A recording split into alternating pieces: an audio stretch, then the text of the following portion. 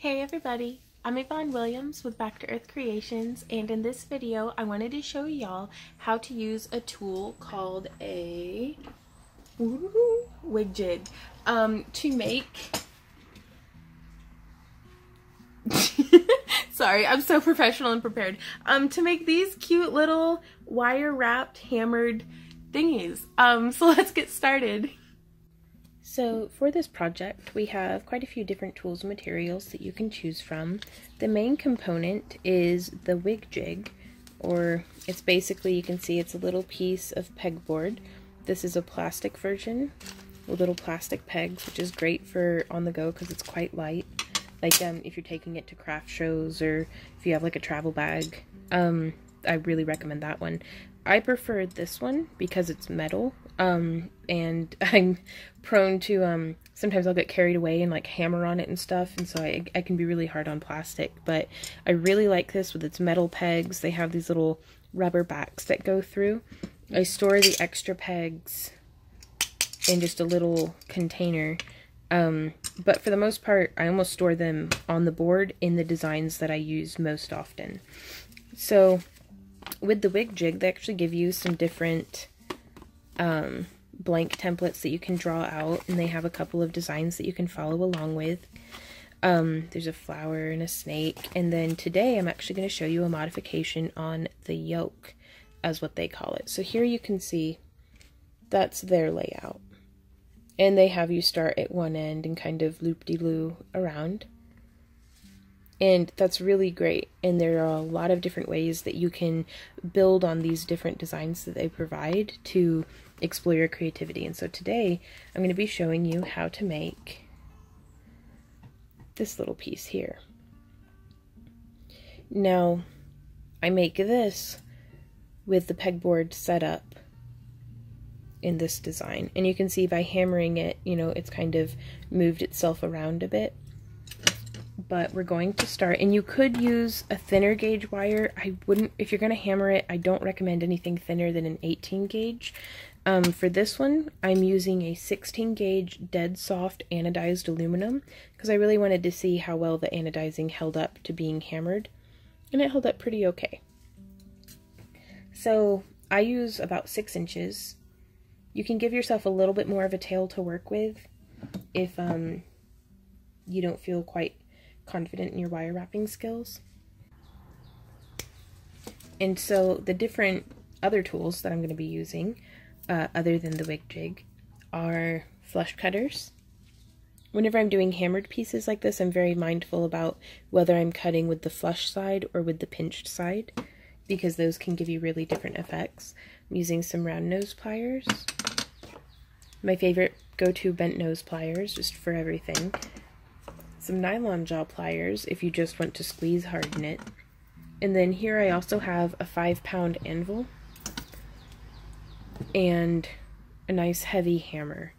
I've found I get a much better effect using a heavier hammer than what I did with a lighter hammer. And also this one's older and has quite a bit of, you know, like wobble to it and stuff. So um, and also I have a nylon side head and a brass head here on this hammer. So to begin, let me get zoomed in for you so you can see. I'm going to try to show you again. Yeah, there you can see the peg placement. It may even be helpful to see from the back because incorporating different sizes of pegs can really give you some nice effects too. So you can see I just kind of put it in at a diagonal like that. There it is again from the front. Nice and secure little pegs. I'm using one of the smallest, one of the second to smallest, and then like the second to biggest um, pegs. Like I think they only really give you like four sizes. And so now we have our 16 gauge wire, 6 inches of it. I'm going to find round about the middle. Doesn't have to be perfect. And I'm going to bring that around this center loop, bringing it in between the other pegs. And I'm going to bend one side off in one direction and one side off whoop, in the other direction. Excuse me. And you could have it be quite snug, perfectly tight, just however you like. I don't mind a little bit of wiggle room there.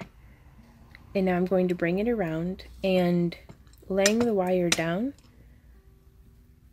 I'm then just twisting it around that peg and then I'm going to twist this one around that peg. And I try to keep it nice and tight and snug. Also, I absolutely love this tool for whenever you are creating duplicates. You know, if you want to make a matching set of earrings, this tool will come in really handy. Now also something to keep an eye out for is sometimes if your backs get loose, see how that kind of separated? Your wire might get underneath it, so be mindful that you have a nice, secure, snug peg. So now I'm going to bring this one around. Just bringing it. And then bringing it, sorry if my hand gets in the way. Nice and around. Pulling it nice and tight. And nice and tight. So there we have that. You can see we have a little bit of tail on the end and you could decide to do more curly cues. You could have this go for days. so, but I'm just going to, oops, lose my pegs. there we go. Now you can take the pegs out. Sometimes I try to, you know, do it by leaving them in, but if it's easier for you, go ahead and take them out. But I prefer to leave them in, though pulled this one really tight and it's really holding on to these pegs. So just be mindful, but I don't want to lose my placement. So you can see the way that I have it in line is I'm up one over three. So to place this, I'm going to go up one, one, two, three, over three. Put the back right back on. Because that's, I don't want to lose these little backs either. I've had this tool for probably 10 years. And I don't use it nearly as much anymore as what I'd like to. There we go. Getting the back on there. So now whenever you've pulled it off, it may look something like this. You can see we have quite a bit of separation going. Here comes the dogs. Hey, puppies. and you can kind of smush it with your fingers a bit to get everything in place. And now from here, again, use your creativity to make variations, but I'm trying to duplicate this. So I'm going to come through and make sure that I'm cutting with the flat side of my snips and cut so that the end of the wire that's remaining will be flat.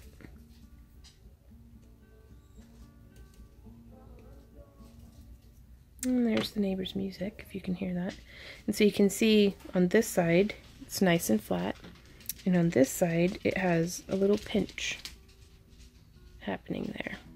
I'm going to do that same thing on the other side. Just reach in, snip, and now is the time to use our nylon jaw pliers to kind of squeeze it down. Getting everything nice and flat. You can see the difference between squeezed and not squeezed. So taking our not squeezed, smoosh, squeezing it. And that really brings it down some. And now I've done many pieces where I only surface harden it or work harden it, depending on the term terminology you prefer, with the nylon jaw pliers. And just kind of leave it like that. It makes a really nice, just wrapped piece.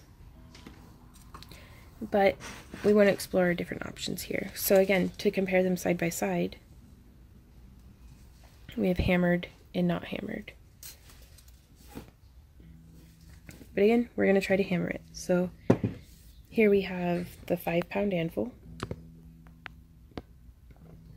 I really don't want my hand and hammer to be in the way, but I don't know if that's a, I don't know if that can be avoided. And I'm going to go through with my nylon head first. And I'm just going to take it and come on it kind of straight straight on. And I'm going to start from the center and build outward. So you can see already we have some flattening going on where those wires cross over each other. You want to be very careful to not focus your hammering too much on those areas because especially with a very soft aluminum like this, you can actually like just pound right on straight through the wire.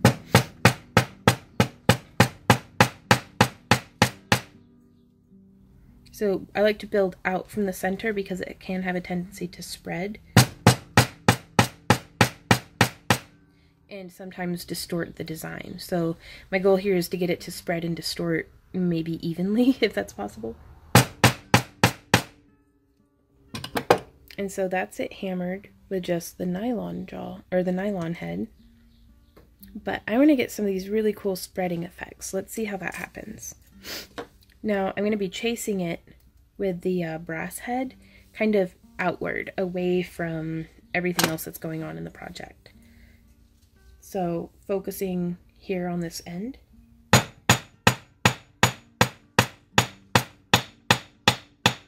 And I really recommend experimenting a bit first to see, um, you know, if you hit it, this one I hit much more all over the surface area. Whereas this one you can see I kind of focused from here outward. So two very different effects, but good thing I'm not trying to make earrings.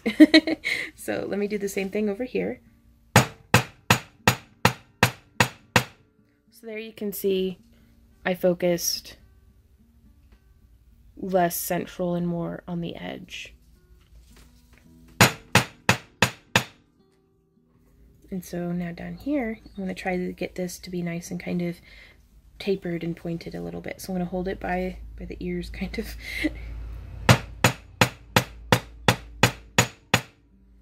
so you can see how by focusing on that front edge we're able to get the spread, but it's spread kind of unevenly. The more you do this, the better you'll get at it. You know, practice makes progress.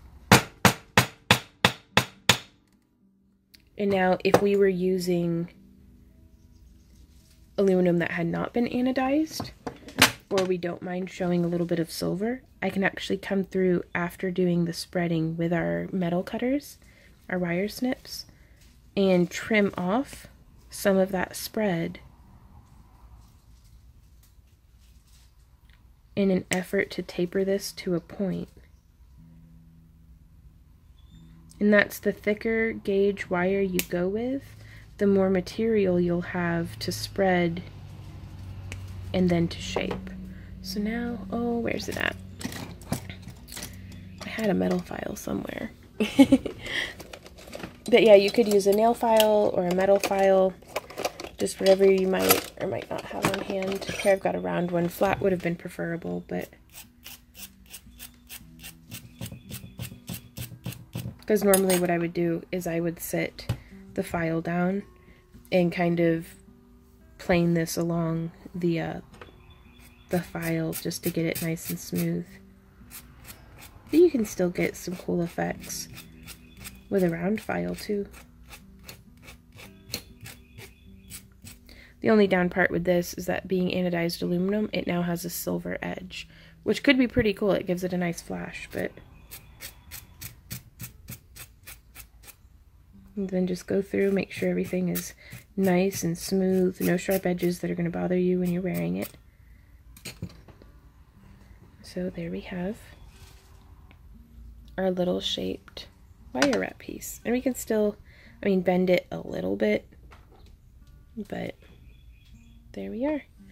So different effects. You could go for a more angled look, or you could go for a more rounded look. But your creativity here truly is the only limit.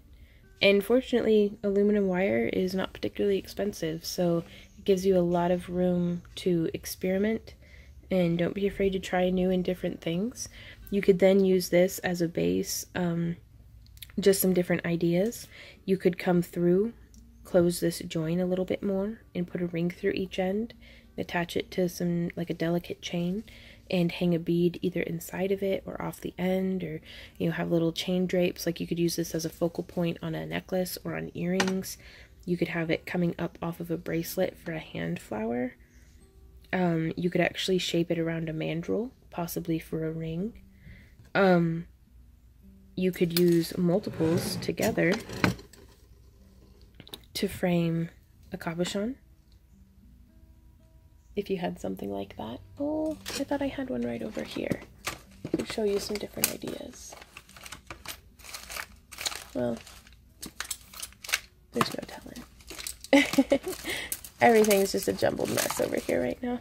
Um, but yeah, if you can visualize with me, like, oh, the doy here I have. you could just frame some different gemstones and things in a lot of different ways. So truly, I mean, I can't reiterate enough that the possibilities are endless. You know, go wild with it. Hey y'all, I hope that this video was helpful to you. If you have any questions, comments, or ideas, please leave them down below. If you would like to share pictures of what you've made or um, anything like that, you can tag me on Instagram or you can post it to my Facebook wall. Again, links for all of my social media and Patreon and different things will be listed down below, along with um, the tools and materials used. Uh, if you enjoy my work and you would like to support what I'm doing, um, Please like, share, subscribe, all that good stuff. You can also participate in my fairy house giveaways and different things like monthly craft crates and digital download content over on Patreon. But you can also follow those links. Um, we're Amazon affiliates now, Randy and I are. So uh, if you go through and buy stuff through those links, just the same stuff that you would normally get or the tools and materials for the tutorial, that greatly helps out our business um, without you having to spend any extra money than what you normally would have, which is, I think, a win-win. So so thank you guys so, so much for everything. I really appreciate all of the input that you guys give me, all of the encouragement and support and everything like that. So thank you again so much. But um, until my next video, happy crafting and I'll see y'all around. Bye!